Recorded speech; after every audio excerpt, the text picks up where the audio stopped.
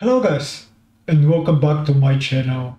Today's video I'm gonna show you how you can change the visual effect of trinkets, procs agility, whatever uh, it procs, it doesn't matter, you can change the skin uh, to whatever you want uh, without any problem.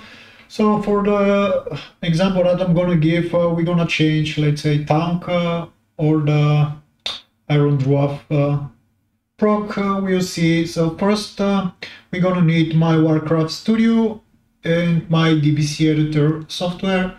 These two programs uh, you can find it in my discord. So once we start my warcraft studio up as administrator uh, you go where your uh, game is.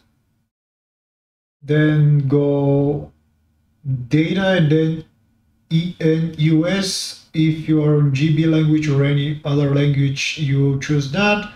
So first we're gonna open this uh, locate ENUS MPQ file and we're just gonna extract this um, folder here. Uh, right click extract folder. Uh, we're gonna make this folder DBW I already make it. Here I'm just gonna type one click save and I'm gonna do the same thing with patch enus so right click going again in this directory just press one. Uh, now after this save we're gonna do the same with the last two files patch enus 2 and 3 so first we're gonna do that with this file. Uh, right click go here, save. And we're gonna do the same with the last one, this one.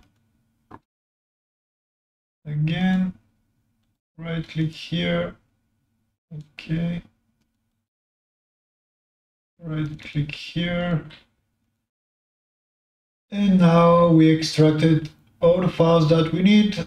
Uh, so now we're gonna open this file with my DBC editor, click open. Uh, we're gonna go into the folder where we save our file, files that we just uh, downloaded from the MPQ file. So I put it in data E and US DBW, and then this folder, the file that we are looking is creatures display info. That's the file that we want and we're going to open this file. So here are all the models in the game that already exist. So what we're going to have to do here is just to change, uh, we're going to pick this random model like human thief skin. So we're going to pick that and we're going to change every uh, iron we're gonna change every iron dwarf um, into it. Like I didn't play around, so you can probably do it by changing just uh, one of it, but you have to find which one exactly.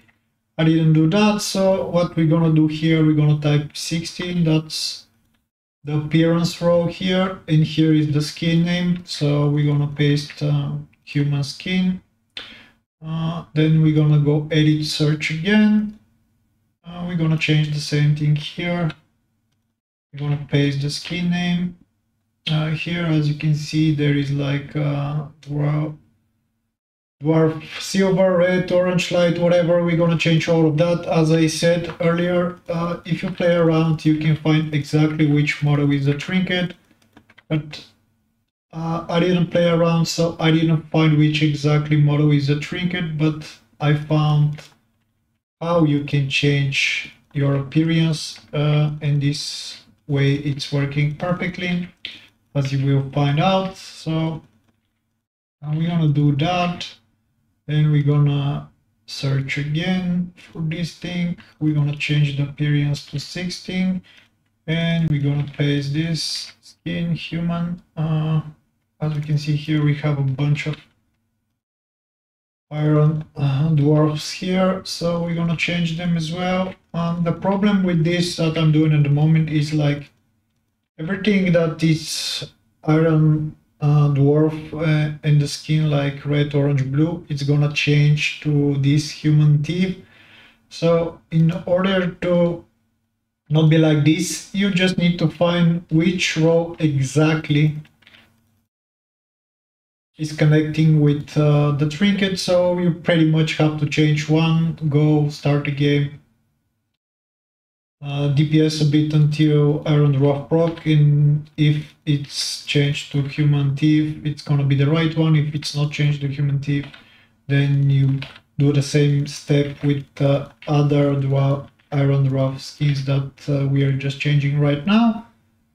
So uh, they're not that much, but yeah, it's quite annoying to be honest, but it's the easiest way that you can do it. Uh, so I'm doing it to show you how you can change like this trinket to whatever you want. It's working like this on every single trinket in the game that have any kind of visual appearance. Um, you can even do it with the trinkets that don't have visual appearance, but that's uh, other things need to be changed there. But uh, for the example of this video, we're gonna do it as I said on uh, this trinket, uh, and specifically we're gonna change just just how um, Iron Dwarf dwarfs are looking. So it should be there, I think, or at least I hope. Uh, okay, we have a few more. Okay, Iron Dwarf. Here is another thing. So the only thing, the only two rows that we are changing uh, this one with 16 for this example of the video and the skin appearance, skin name.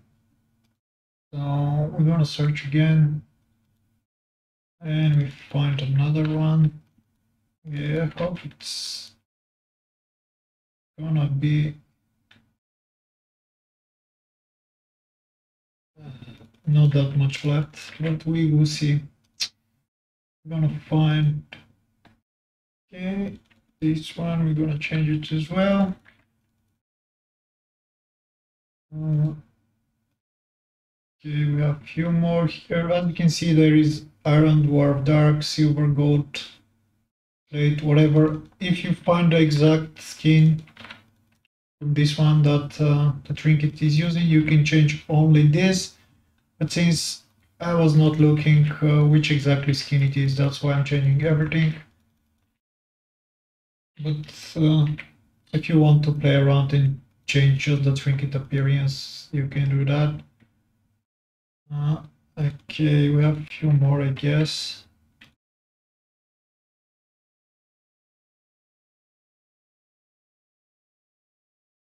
Oh my god, still. Come on, wait where this thing is gonna end. Okay, more. So we're just mindlessly doing this thing, replacing the first row and pasting the skin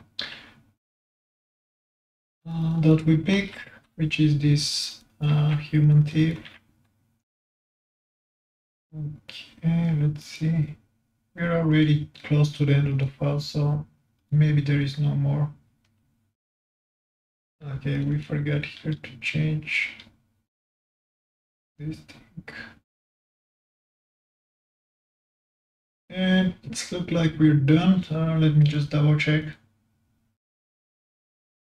Yeah, no more. So once we change everything like this, uh, we're gonna have to save the file and we're gonna have to create a MPQ file. So how we're gonna do that? We're gonna go here on my Warcraft Studio, pack, create MPQ file. Uh, yes, we're sure. Uh, we're gonna put the file in your uh, World of Warcraft directory data, uh, and you can name it whatever you want. Uh, for the example of the video, I'm gonna name it just patch a.mpq as you can see here uh, after that, right click, import folder, and now we're gonna go into ENUS folder and DBW um, on the place where we just uh, make the changes of the file. We're gonna open that.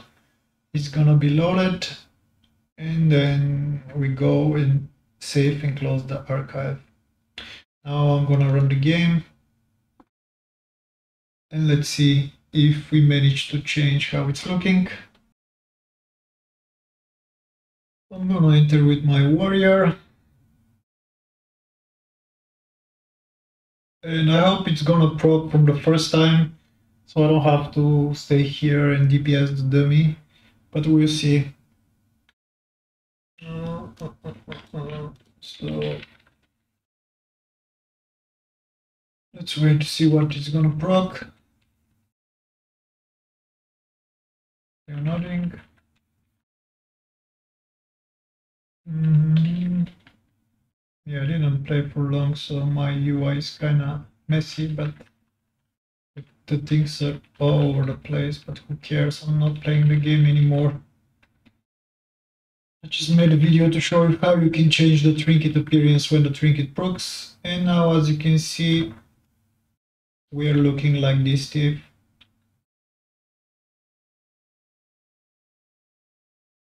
It's kind of cool if you notice here the proc is like uh, Iron Dwarf and we're looking like this Steve.